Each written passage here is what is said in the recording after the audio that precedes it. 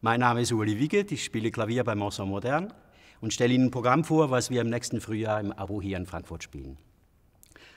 20er Jahre, Wien, Berlin kann man sagen. Ein Programm, was um Schönberg herum gebaut ist, ist Schönberg, sein Kontrahent Korngold, dann äh, Weil, die Leibspeise von Nali Gruber und Hindemith für uns als Frankfurter auch was ganz Wichtiges. Jeder hat eine ganz andere Ausprofilierung in, in seinem Idiom in dieser Zeit. Das sind Stücke, die zwischen Anfang der 10er Jahre und Ende der 20er Jahre entstanden sind. Korngold hat seine Suite zur Schauspielmusik von Shakespeare schon 17 geschrieben. Das ist ein Orchesterstück. Da gibt es später dann auch kleinere Versionen.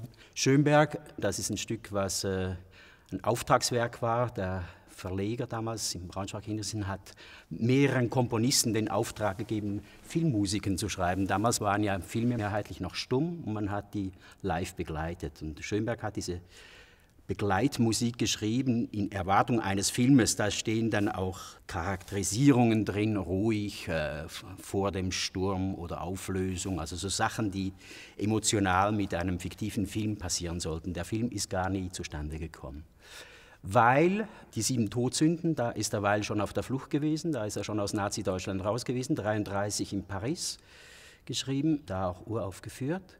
Und Hindemith natürlich die erste Kammermusik, ein Skandalstück in Donau-Eschingen der 20er Jahre. Ich werde ein bisschen mehr über Schönberg erzählen, weil Schönberg natürlich als Lehrerfigur und auch als Kreator, Erschöpfer der modernen Musik, kann man sagen, oder für uns als Ensembleaner auch eine ganz spezifische Bedeutung hat. Schönbergs Lichtspielszene 29 ist schon ganz Dodekaphon. Schönberg hat ja von sich behauptet, er hätte die Dodekaphonie, die Zwölftonmusik erfunden. Da gehen die Meinungen auseinander. Es gibt andere heute, die gleichzeitig mit ihm auch daran gewerkelt haben, Haber oder Hauer in Wien. Auf jeden Fall ist er derjenige, der das als erster auch theoretisch festgehalten hat.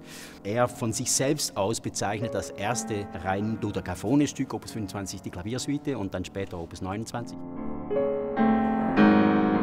Aber davor gibt es Stücke, wo man schon merkt, da ist das Konzept des Rezeptes der zwölf Töne drin. 1909 ist sein Opus 11, da ist er noch sehr harmonisch unterwegs und sehr, man kann auch sagen, duotonal unterwegs, was ihn dann eigentlich wieder ein bisschen mit dem Hindemith verbindet. Der Hindemith ist eigentlich seine Modernität, hat ihn einen sehr extravaganten Ausbalancieren von zwei Tonalitäten nebeneinander, also dass man entweder C-Dur und Fis-Dur gleichzeitig hören kann. Beim Opus 11 ist das sehr offensichtlich. Da hören Sie ein Ostinato, was ganz eindeutig auf D-Moll steht und gleichzeitig eine Melodiestruktur, die aber, kann man sagen, A-Dur ist oder Cis-Moll, also die, die changiert zwischen Tonalitäten. Trotzdem ist sie melodisch so gefügt, dass wir einen, einen, melodischen Background auch hören bei dem Stück. Obwohl es schon nach Dodekaphonie riecht, es ist ein Stück, was noch immer sehr, sehr basiert ist in der Wiener spätromantischen Musik.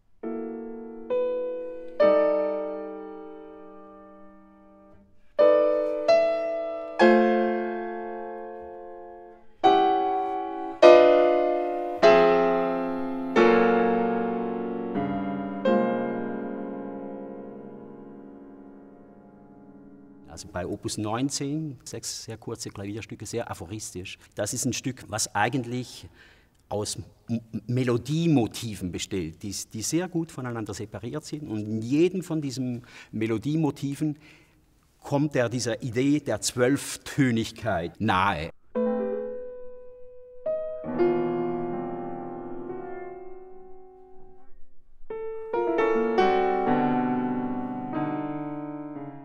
Er hat allerdings auch Duplikate, also was später dann in der Reihenmusik und in der seriellen Musik verpönt ist. Da durfte man keine Duplizierung mehr benutzen, solange man nicht die Reihe komplett vorgestellt hätte, die zwölf Töne.